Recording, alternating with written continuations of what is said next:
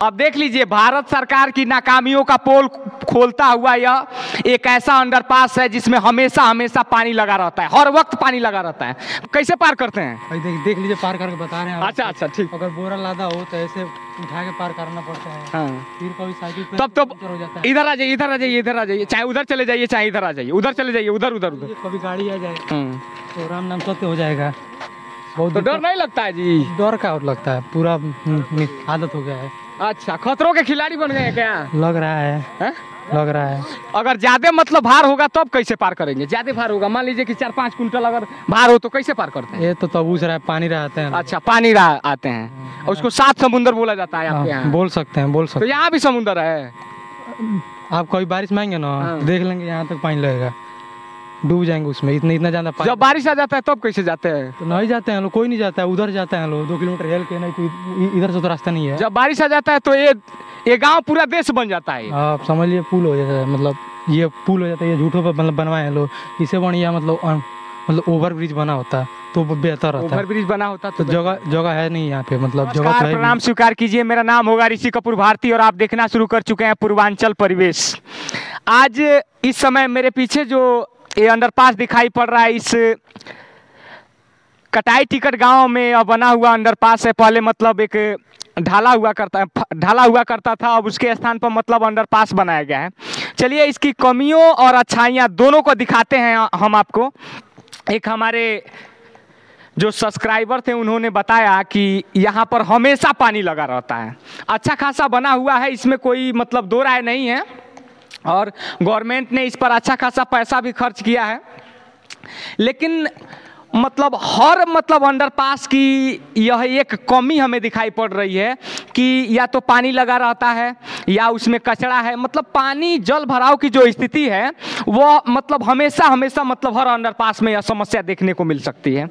यहाँ पर मतलब यहाँ का जो जल स्तर है, थोड़ा ऊपर है और उस जल स्तर के ऊपर हो जाने के कारण यहाँ हमेशा, इधर दिखाइए, आगे दिखाइएगा।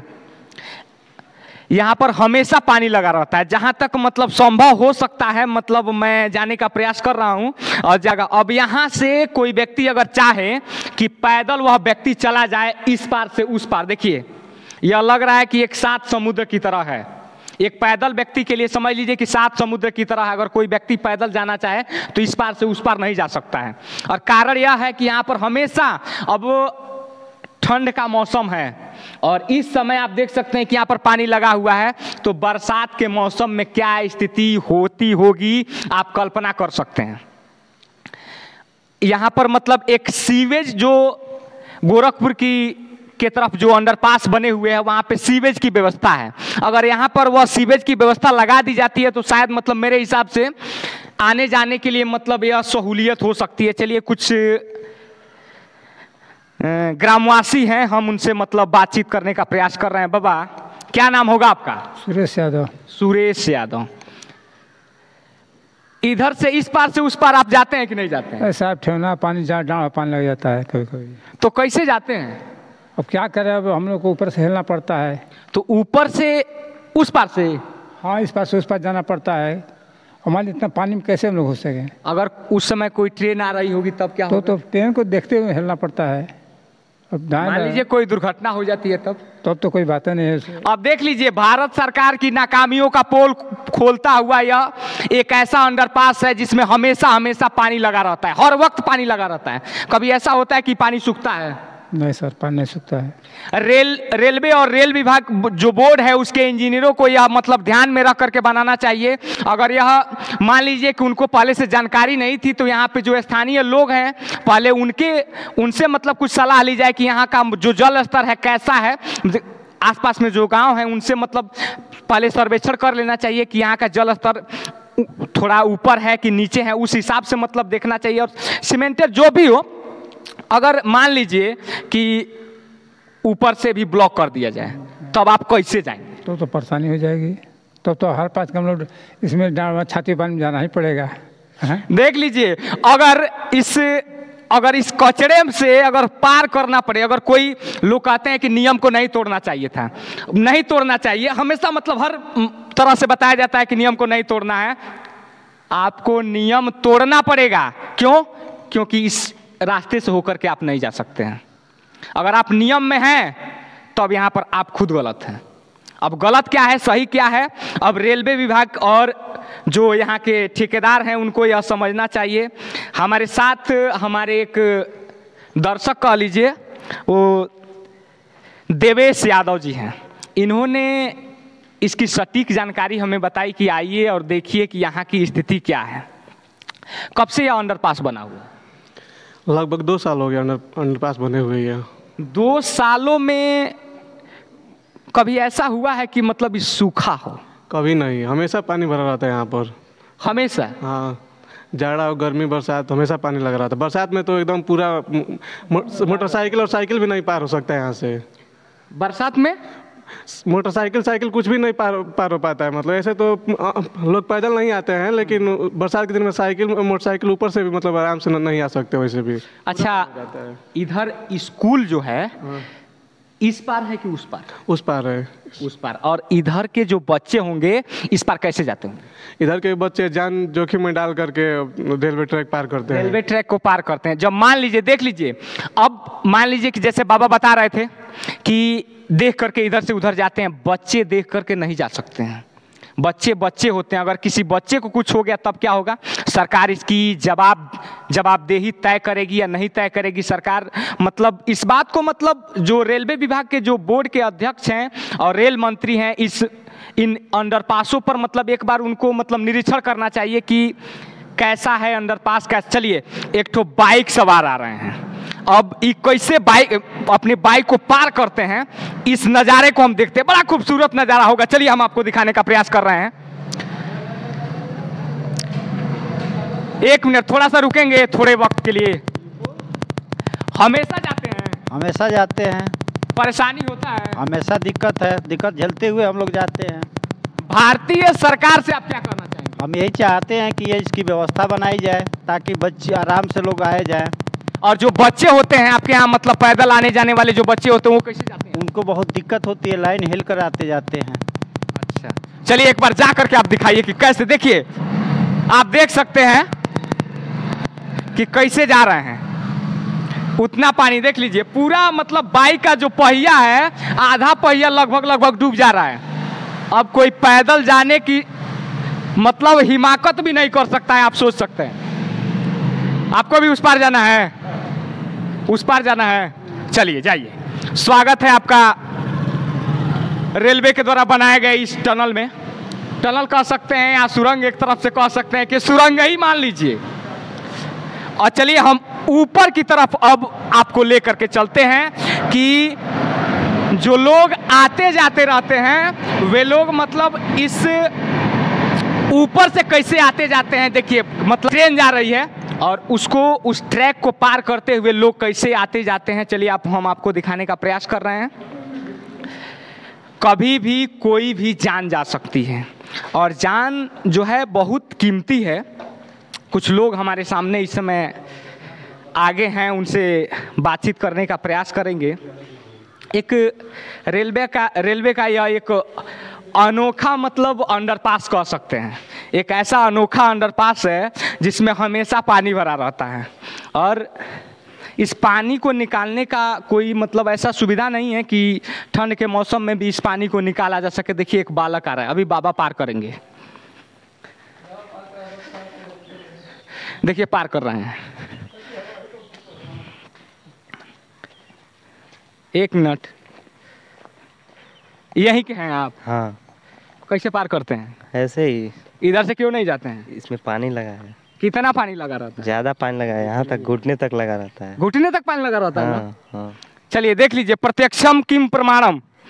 हम आपको दिखाने का प्रयास कर रहे हैं कि जो रेलवे ट्रैक है एक मतलब लोग अपने लिए पार नहीं कर रहे हैं। पार मतलब मजबूरन बस पार कर रहे हैं कि हमको इस पार से उस पार जाना है, पानी लगा हुआ है तो कैसे जाएँगे? देखिए, हम थोड़ा मतलब इस पार से उस पार होकर के, नियम को तोड़ करके जा रहे हैं, ताक पर रख करके। आपको जाना ही पड़ेगा नियम को ताक पर रख करके। अगर इस इस पार से उस पार जाना है तो आपको ऊपर ऊपर ही जाना पड़ेगा, नीचे से आप जा नहीं सकते हैं। दादी, रोज पार करती हैं। पानी में कहाँ जाए? परेशान हो गल बन जब जान से बना है हाँ। तब से पानी लगा हुआ है। हाँ। एकदम परेशान बनी जा। कोई अधिकारी उधिकारी नहीं आते हैं इसको जाँच करने के लिए। आवे लालो तो हमने के मेहरारू जत का कहीं जा सब लोग कह तब न हमने के कहती जा। अच्छा। घर उज बनल बा भूसा के आप बेबसी देख सकते हैं लोगों लोग जो हैं अपने जान पर खेल करके इस पार से उस पार मतलब इस रेलवे ट्रैक को पार करते हुए जाते हैं जबकि जो ये बना हुआ है इससे पार नहीं करते हैं। कहाँ घर पड़ेगा भैया आपका? यहीं पे कटाई टिकर। कटाई टिकर जी, क्या नाम होगा आपका? उपेंद्र यादव। उपेंद्र यादव। ये जब से बना हुआ है जी। तब से इसका उपयोग है कि नहीं? उपयोग करते वही पानी में करना पड़ता है। पानी के तो- रास्ते जाना आना पड़ता है। तो केवल गाड़ी वाले ही पार करते हैं कि पैदल भी ग- गाड़ी वाले पार करते हैं। पैदल तो कोई, कोई नहीं जाएगा पानी में नो। बाकी आदमी इसी पर जाता आता है। कोई ऐसा मतलब जाँच समिति नहीं नहीं आई रेलवे की ओर से कि मतलब इसको नहीं आते हैं वो लोग आते हैं देख के चले जाते हैं बाकी कुछ होता नहीं है उसका ऐसे ही। आप लोग कोई प्रार्थना पत्र नहीं लिखे? नहीं बड़गांव का शायद प्रधान लिखे थे डाले थे क्या पता नाम है आपके गाँव के प्रधान जी का? धनु यादव। धनु यादव। उन्होंने प्रार्थना पत्र लिखा? हमको मालूम है कि लिखा हाँ लिखे हैं वो लोग। कैसे पार करते हैं? भाई देख देख लीजिए पार करके बता रहे हैं अच्छा अच्छा ठीक। अगर बोरा लादा हो तो ऐसे उठा के पार करना पड़ता है। हाँ। फिर कभी साइकिल पे तब तो हो है। इधर आ जाइए इधर आ जाइए इधर आ जाइए चाहे उधर चले जाइए चाहे इधर आ जाइए उधर चले जाइए उधर उधर उधर। कभी गाड़ी आ जाए हम्म। तो राम नाम सत्य हो जाएगा। बहुत तो डर नहीं लगता है जी? डर का और लगता है पूरा आदत हो गया है। अच्छा खतरों के खिलाड़ी बन गए हैं क्या? लग रहा है। हैं? लग रहा है। अगर ज़्यादा मतलब भार होगा तब कैसे पार करेंगे? ज़्यादा भार होगा। मान लीजिए कि चार पाँच कुंटल अगर भार हो तो कैसे पार करते हैं? ये तो तब उस रहा है पानी रहते हैं। अच्छा पानी रहा आते हैं। और उसको सात समुंदर बोला जाता है आपके हाँ, यहाँ। बोल सकते हैं बोल सकते सकते यहाँ भी समुंदर है। आप कभी बारिश में आएँगे ना हाँ। देख लेंगे यहाँ तक पानी लगेगा। डूब जाएँगे उसमें। इतना इतना ज़्यादा जब बारिश आ जाता है तब तो कैसे जाते हैं? तो नहीं जाते हैं लोग कोई नहीं जाता है उधर जाते हैं लोग दो किलोमीटर हेल के नहीं तो इधर से तो रास्ता नहीं है। जब बारिश आ जाता है तो ये ये गाँव पूरा देश बन जाता है। आप समझ लिए पुल हो जाता है मतलब ये पुल हो जाता है ये झूठों पर मतलब बनवाए हैं लोग। इससे बढ़िया मतलब मतलब ओवर ब्रिज बना होता तो बेहतर रहता। ओवर है ब्रिज बना होता तो तो जगह जगह है नहीं यहाँ पे मतलब जगह तो है। अंडरपास जो बना हुआ है बढ़िया काम हुआ है। हम लोग तो देखने में बाबू नहीं बढ़िया बना है। हाँ। आप सोतो चल कर को आप थोड़ा देख लीजिए। हम लोग भी तीन भाई रेल में थे पतिया में सुनिए। थे हम लोग नमक रोटी खा के किसी तरह से घर बनवाए। इधर छोड़ कर को उधर हम लोग को पानी भी बहने की अच्छा, जगह एक मिनट एक मिनट आप रेल विभाग में थे। जी। कितने की लागत से ही बनता होगा? कौन? ये जो अंडरपास है कितने की लागत से अरे हमने करोड़ों से ऊपर लगा करोड़ों से ऊपर? देखिए मेरा आंकड़ा नहीं है। मैं नहीं बता रहा हूँ कि करोड़ों के ऊपर से बनता होगा। खुद बाबा रेल विभाग में कार्यरत थे सेवानिवृत्त हो चुके हैं। और बता रहे हैं कि करोड़ों की लागत से ये जो अंडरपास है यह बनता है। तो इतना घोटाला कहाँ होता है? और भाई अधिकारी लोग जाने आप लोग जाने हम लोग का जानते हैं काहे कह- काहे कह देंगे तो कोई आपको जेल में थोड़ी डाल देगा। जेल में का हम लोग हमेशा आप लोग के बीच में रहे हैं। हम हमेशा आप लोग के बीच में रहे। अब इस गाँव के नागरिक जाने अधिकारी गण जाने। आपको परेशानी नहीं होती? हमको हम सारे हाँ हम तो परेशानी झेल ही रहे हैं। हमारा पूरा नगर झेल रहा है। हम लोग की कोई बहन बेटी आती है तो वह उतारा जाता है। हाँ? कभी प्रार्थना पत्र लिखे इसके लिए? काहे काहे नहीं लिखे? ओहो हम क्या कर? हम क्या है गाँव का बताइए? हम एक नागरिक आप एक आम नागरिक नहीं हैं? आपकी भी ज़िम्मेदारी बनती है ऐसी बात नहीं है। बात जी आपका सही है लेकिन हम कुछ होते इस गाँव का हमसे बड़े बड़े लोग हैं अपना कष्ट झेल रहे हैं अपना बहुत देखिए अब इधर जितनी खेतियाँ हैं हाँ। सिंचाई करने के लिए क्या क्या दुर्दशा होता है पाँच आदमी सात आदमी मिलते हैं तो मशीन उठाते हैं सब बच्चे तब तो होता है। उस समय अधिकारी गण अंधे नहीं न थे। देख लीजिए रेल मंत्री जी, अगर एक गाँव है, शहर नहीं है स्मार्ट सिटी नहीं है, यहाँ पर वैसे लोग बसते हैं जो खेती से अपनी जीविका चलाते हैं, बच्चे इस पार से उस पार पढ़ने के लिए जाते हैं। अगर मान लीजिए, एक उदाहरण मान लीजिए कि अगर किसी को अपना पंपिंग सेट लेकर के जाना होगा तो धक्का दे करके लेकर के जाना होगा तो इस पार से उस पार पंपिंग सेट नहीं आ सकता है। अगर ये वीडियो आप तक पहुँचती है तो इस समस्या पर ज़रूर विचार कीजिएगा। और एक बार हो सके तो आकर के देख लीजिएगा। अगर आपको पार करना है, इस पार से उस पार जाना है तो हर हाल में रेलवे ट्रैक को पार करना है, ऊपर से पार करना है। अपनी जान जोखिम में डाल करके पार करना है। अगर आपके यहाँ भी कोई ऐसा अंडरपास है, जिससे ऊपर से और इधर से इस पार से उस पार अगर जाने के लिए आपको ऊपर ऊपर, इधर आ जाइएगा। ऊपर ऊपर जाना पड़ रहा है तो हमें सूचित करें, हम वहाँ की भी खबर दिखाने का प्रयास करेंगे।